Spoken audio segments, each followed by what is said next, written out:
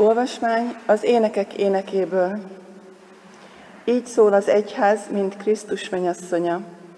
A kedvesem íme itt jön, ugrál a hegyeken át, és szökel a dombokon át. Olyan a kedvesem, mint a gazella, a fiatal szarvashoz hasonló. Nézzétek, már itt is áll házunk falánál, benéz az ablakon, nézelődik a rácson át. Aztán így szól hozzám a kedvesem, kelj föl, barátnőm, jöjj, galambom, szépségem, nézd, elmúlt a tél, elállt az eső, elvonult. A föld színén immár virágok nyílnak, itt van a szőlőmetszés ideje, és Gerlice hangja hallatszik földünkön. Már színesedik az első fügetermés, hajtanak a szőlők, és jó illatot árasztanak. Kelj föl, kedvesem, gyere szépségem! Sziklák hasadékában fészkelő galambom, rejtek helyeden, a szírtek szegélyte, szegélyezte ösvényen, mutasd meg arcodat, hadd halljam hangodat, mert szépen cseng a hangod, és bájos az arcod. Ez az Isten igéje.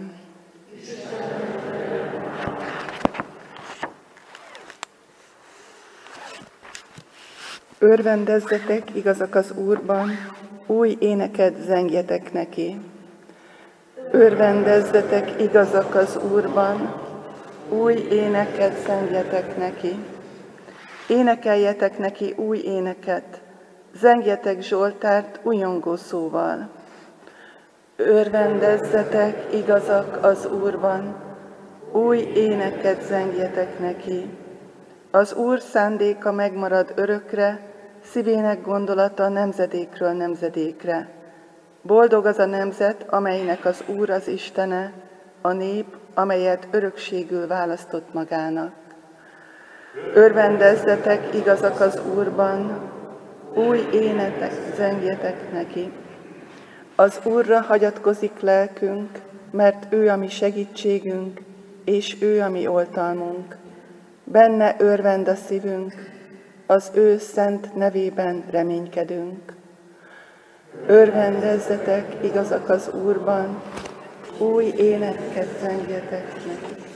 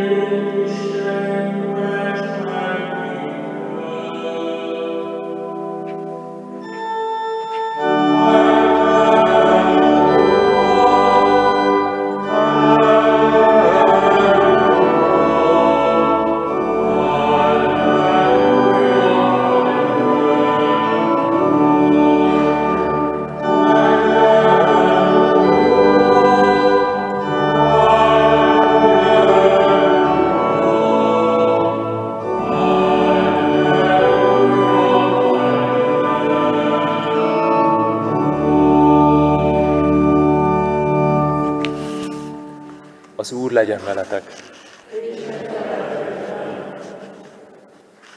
Evangélium Szent Lukács könyvéből.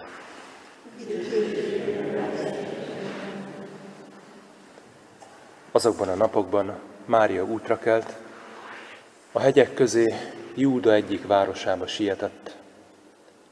Belépett Zakariás házába és köszöntötte Erzsébetet. Amikor Erzsébet meghallotta Mária köszöntését, szíve alatt megmozdult a magzat, és a Szentlélek betöltötte Erzsébetet. Hangos szóval így kiáltott. Áldott vagy te az asszonyok között, és áldott a te méhednek gyümölcse. De hogyan lehet az, hogy Uramnak anyja látogat el hozzám? Mert íme, amikor fülembe csendült köszöntésed szava, örvendezve felújjongott méhemben a magzat. Boldog, aki hitt annak beteljesedésében, amit az Úr mondott neki.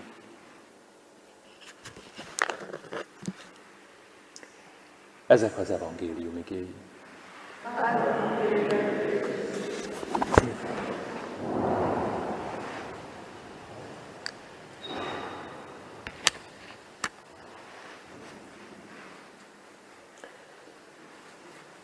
Ha kimondom azt a szót, hogy vizit,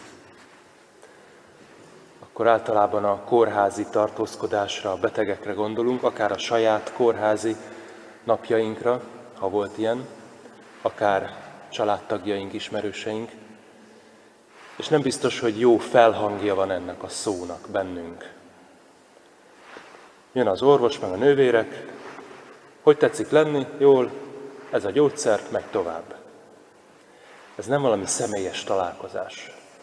Inkább olyas valami ez a vizit, amit le kell tudni. Ez a kötelesség, menjünk tovább.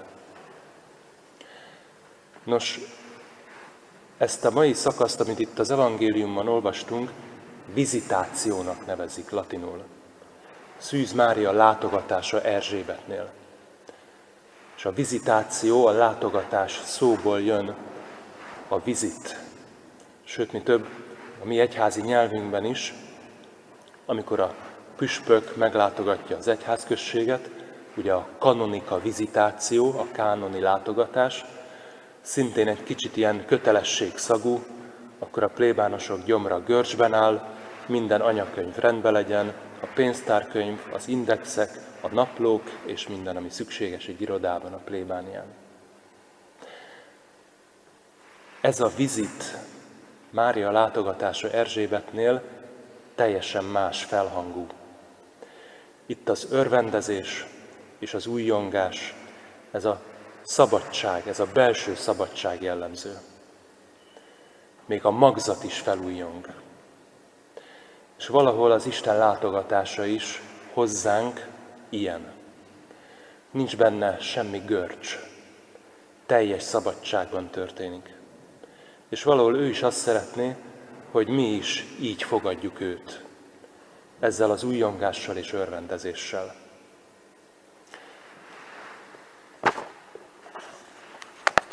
Thomas Merton naplóját olvasgatjuk,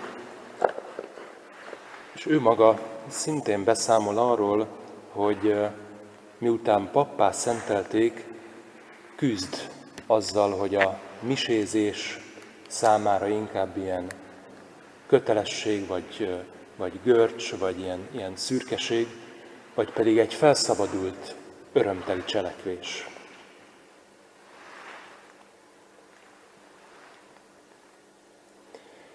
Nem tudom, miért nem is észhetne a pap kezdettől fogva egyszerűen és örömmel, mintha minden nap egyszerűbben és minden nap boldogabban. Servite domino in laetitia, örvendezve szolgáljatok az Úrnak. Nagyrészt azért vagyunk annyira nehézkesek, mert túl komolyan vesszük önmagunkat, és ezáltal megbénítjuk lelkünket. Túl sokat várunk önmagunktól, pedig Istentől kellene várnunk mindent, hiszen egészen tőle függünk.